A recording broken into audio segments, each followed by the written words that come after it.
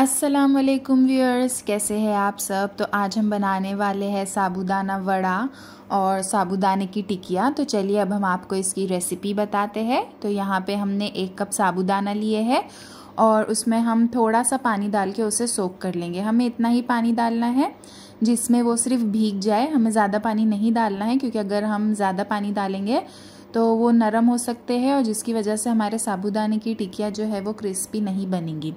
अब हमने यहाँ पे पटेटोज़ लिए हैं। थ्री टू फोर पटेटोज़ हमने उसे बॉईल कर लिया है। लेकिन आपको ये बात का ध्यान रखना है कि आप उसे ज़्यादा सॉफ्ट बॉईल ना करिए, थोड़े कड़क ही रहने चाहिए जब आप इसे बॉईल करेंगे तो।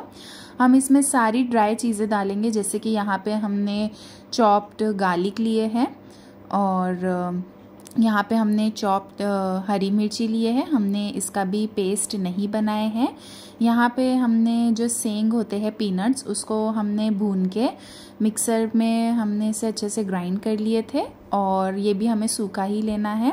और यहाँ पे हम डालेंगे वन टेबल स्पून सॉल्ट आपको सारी चीज़ें ड्राई ही रखनी है, क्योंकि अगर एक भी चीज़ इसमें से गीली होगी तो हमारे जो साबुदाने की टिकिया है, वो सॉफ्ट बन जाएगी और वो क्रिस्पी नहीं बनेगी जो अच्छी नहीं लगती है। तो, तो चलिए अब हम इसे अच्छे से मिक्स कर लेंगे। ये देखिए यहाँ पे हमारे मसाला जो है वो बहुत अच्छे से मिक्स हो चुका है। तो अब हम इसकी टिकिया बना लेंगे। तो यहाँ पर हमें बॉल साइज़ जितना लेना है और फिर उससे हम इसकी टिकिया बना लेंगे।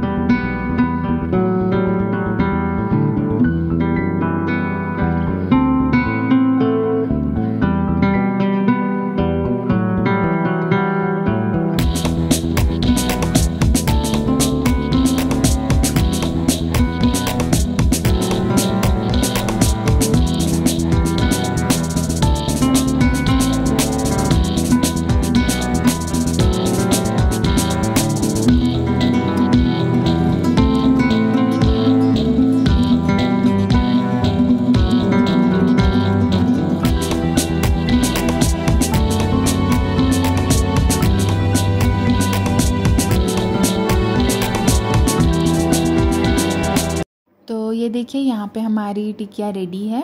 तो चलिए, अब हम एक पैन ले लेंगे और उसमें हम ऑयल हीट कर लेंगे। जब हमारा ऑयल अच्छे से हीट हो जाएगा, तब हम इसमें हमारी जो सारी टिकिया है, वो डाल देंगे। आपको इसे मीडियम फ्लेम पे ही फ्राई करना है।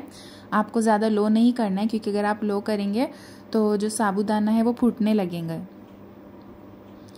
इसीलिए आपको इसे मीडियम फ्लेम पे ही पकाना है फ्राई करना है। अगर आप हाई फ्लेम रखेंगे तो आपके भजिया ऊपर से तो ब्राउन हो जाएँगे बट वो फिर अंदर से कच्चे लगेंगे। जो साबुदाना है हमारा, वो बहुत ही कच्चा लगेगा। इसीलिए आपको फ्लेम का बहुत ध्यान रखना है। ये देखिए, यहाँ पे हमारे अच्छे से क्रिस्पी रेडी हो चुके हैं साबुदाने की टिकिया और साबुदाना वड़ा। तो चलिए, अब हम आपको इसे सर्व करके बताते हैं।